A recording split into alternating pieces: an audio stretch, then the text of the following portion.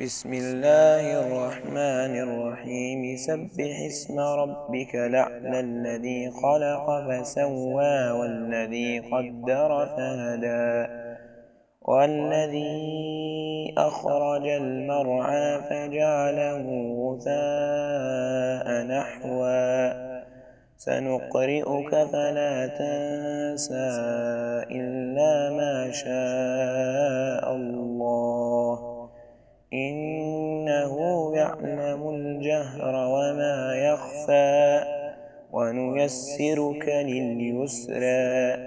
فذكر إن نفعت الذكرى. سيذكر من يخشى ويتجنبها الأشقى الذي يصلى النار الكبرى.